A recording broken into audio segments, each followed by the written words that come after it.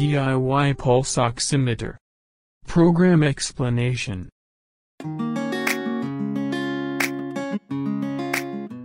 I have developed DIY pulse oximeter that can be made with cheap and general parts and a 3D printer. More information is available on this channel and my webpage. Please see the description of this video. In this video, I will explain the program for this DIY pulse oximeter in the order of the list. Okay, let's get started.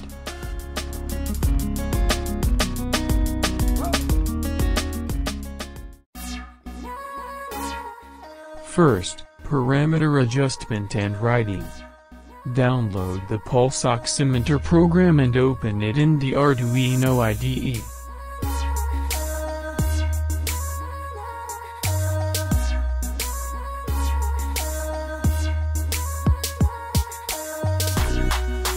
Adjust some parameters. At first, set the I2C address of the LCD. Most of I2C communication module of character LCD uses the expander such as PCF8574 and PCF8574A. Its address list of PCF8574 and PCF8574A. I use this LCD. The expander chip of this module is PCF8574A. All addresses wiring are open. These addresses wiring are pulled up, so address value is high when open and low when short. Thus, this LCD I2C address is 3F. Please rewrite LCD address according to your LCD. CRUS is the time constant of the charging circuit, in microseconds. CT1 is 1 microfarad, so enter the value of RT1 directly. Its I.O. pin settings. When assembling with the Model A board or Universal board, wire according to this pin number. The Model B board is pre-wired. Its serial communication settings. Set 0 when not using serial communication, 1 when capturing data with a serial monitor, and 2 when displaying a graph on a serial plotter. These three items are noise reduction parameters. DMMAN is the number of points to calculate the moving average of TM. 2 or 3 is a reasonable value. Kill hum noise synchronizes the measurement cycle with a commercial power source to reduce hum noise. 0 is disables, 1 is enables. Commercial power source freq is commercial power frequency. Please set according to your region.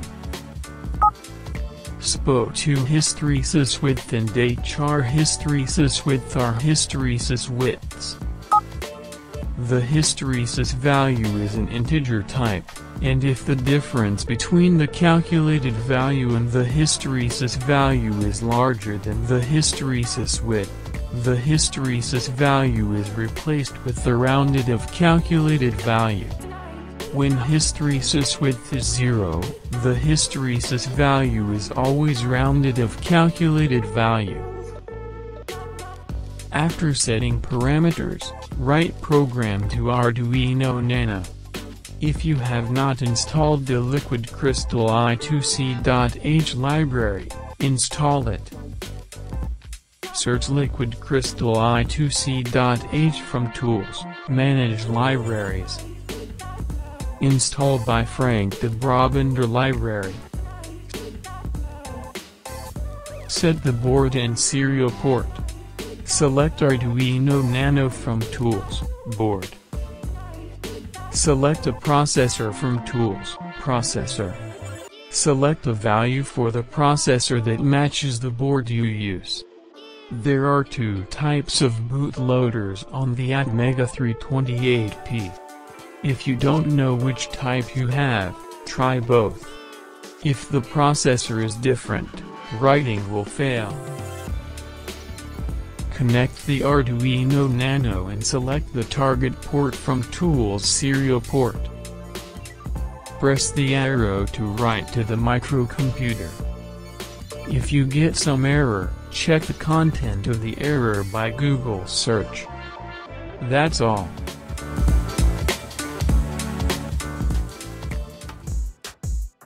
From here, I will explain this program. All variables are defined as global variables.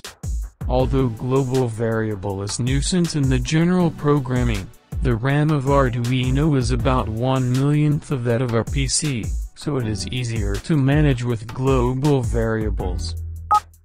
When you compile the program, you can see the usage of global variables. I will explain some typical variables. HR val is 4-point moving average of the heart rate. HR hysteresis is the heart rate with hysteresis. SPO2 val is 4-point moving average of the SPO2. SPO2 hysteresis is the SPO2 with hysteresis. Count is the count of measurements. Count HR is the count of pulse. Beta is the calculated value of transmitted light. In the case of Atmega 328p, there is about 1 kilobyte left in the variable.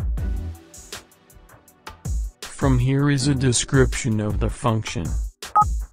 Its setup function and loop function. Loop function will be introduced later. Functions used here are grouped and wrote below. Here are devices functions. Here are configure functions.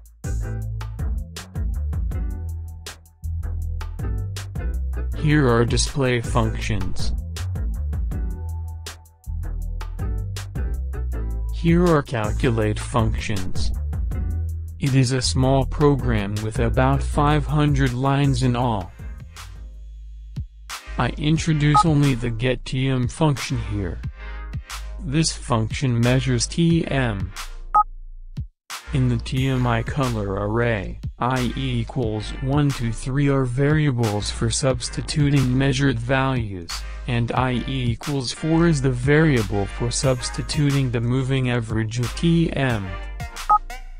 Color is a LED color variable where 0 is infrared and 1 is red. In general pulse oximeter principle, we introduced the method to determine the period by beta, but this program uses the infrared TM to determine the period. In order to calculate delta TM, TM prev is overwritten with the previous infrared measurement value. Measure orange red. Synchronize with commercial power here. Start sweeping the color LED. Assign the start time of TM. Repeat until TMI is measure N. Read the status of the D8 pin. Since digital read is slow, this program read registry directly and calculate by bitwise operation. If D8 value is 1, Calculate TM and exit this loop. Turn off the LED and discharge the CR charging circuit.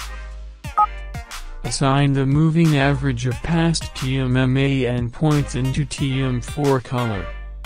TM is measured like this. Go back to the loop function. This flowchart is an example of SPO2 calculation introduced in general pulse oximeter principle. Calculate SPO2 according to this flow. First, measure TM with getTM function. Determine if the TM measurement is range over. If TM is range over, add 1 to count range over. If count range over is 10 or less, return to get TM. If count range over is 10, set count range over to 100.